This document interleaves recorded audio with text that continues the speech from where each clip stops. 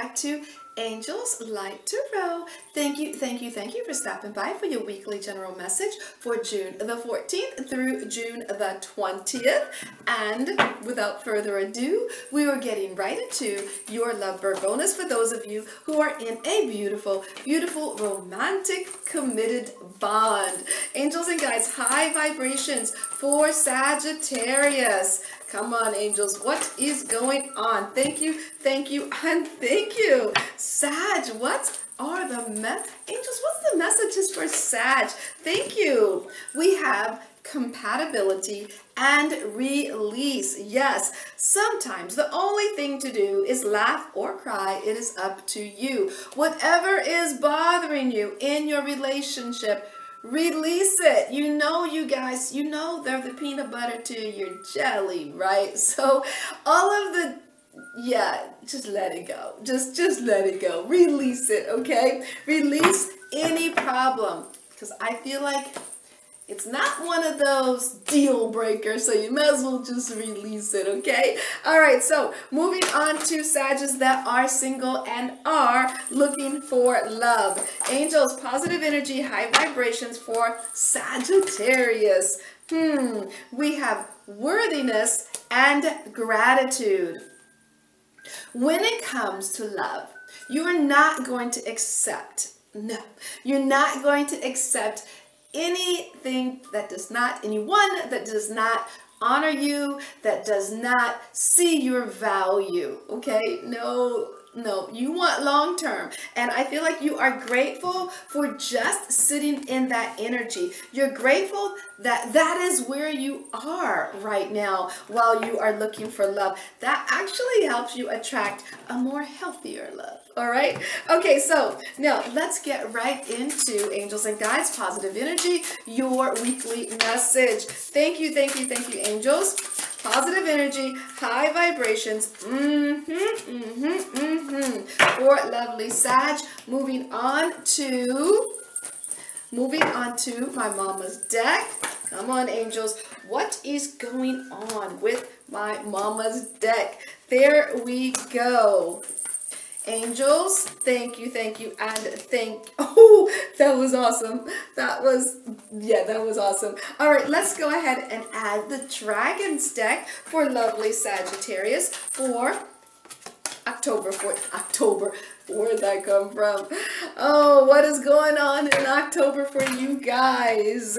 Hmm. Well, what went on in October for you guys? Angels, we're topping it off with the Hummingbird deck. Yes, we are. Thank you, thank you, and thank you. Come on, angels, looking for positive energy. Yes, we are. Two more. Two more.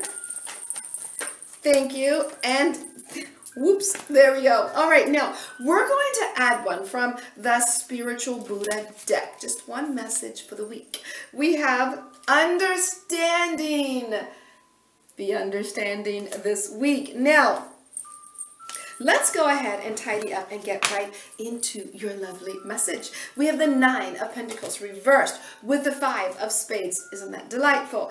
Opinions, Two of Clubs, and the Seven of Clubs. This week, uh, it, I'm picking up that um, finances are okay. You know, they could be better. They could be better. But don't worry, it's all going to change.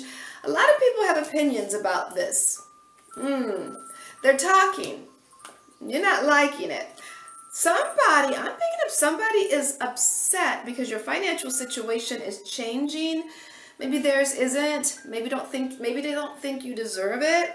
Um, but my advice to you is to just let it go. Yes, just let it go and accept your blessings. Yes.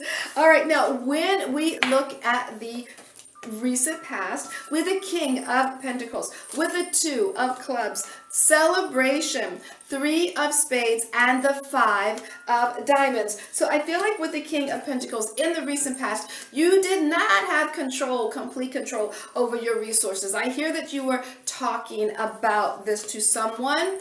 The celebration, I feel like, I feel like there was a celebration. It was because you did something uniquely different, which changed your finances in the recent past. So, you know, times weren't always so great, okay? Now, when we look in the middle of the week, we have the page of pentacles, we have the five of clubs, grace, ten of clubs, and the jack of clubs. So in the middle of the week with the page of pentacles, you're talking about some money.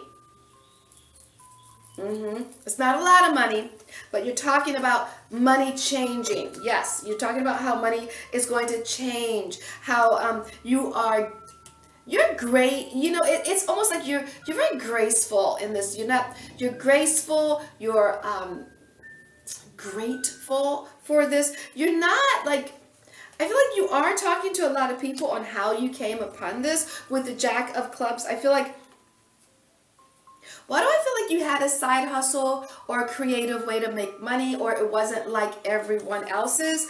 I feel you are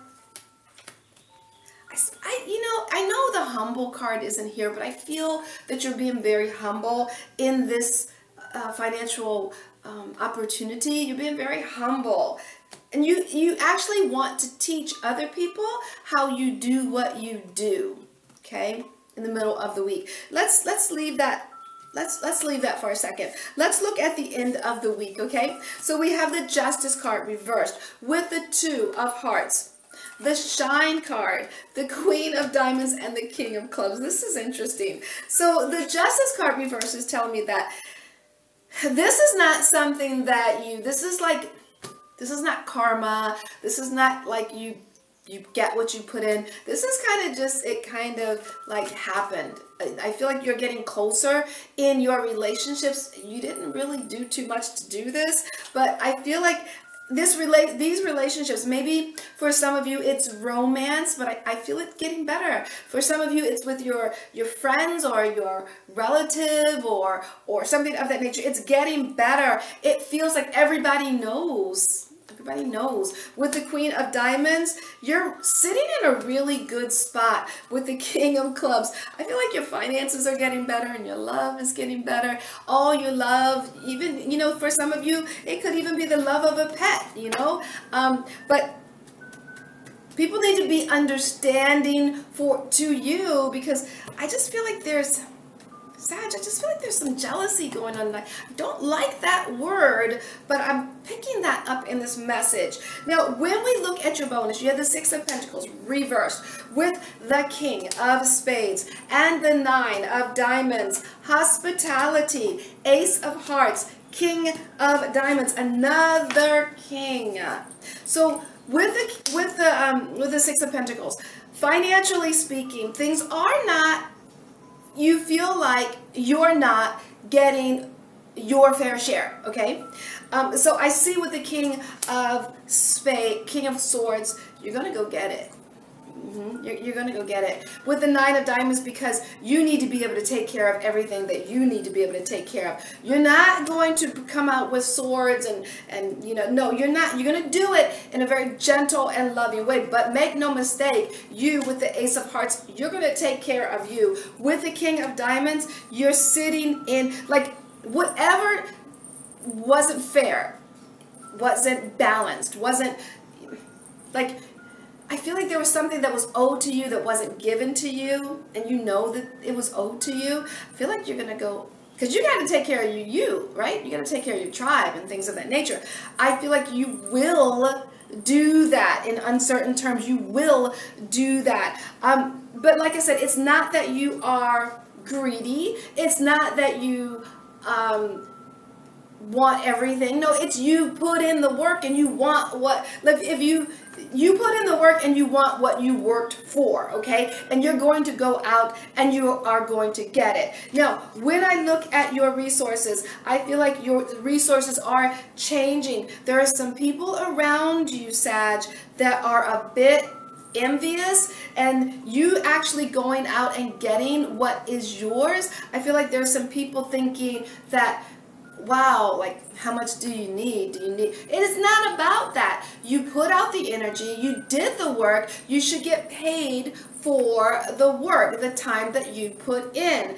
And maybe it isn't money. Maybe it's, you know, a barter situation. You did something for someone, now it's time for them to do something for you and you're calling in you're calling in your debts or whatever it is that you're, you're calling them in because not because you need it because i don't feel that you do it's because it's mine and i want it okay and i'm just gonna leave it just like that don't don't be too worried about people feeling a certain kind of way about this you put in the work you should get what is due you. Okay, so I'm going to leave it there. I send you joy, namaste, and much, much love sent your way.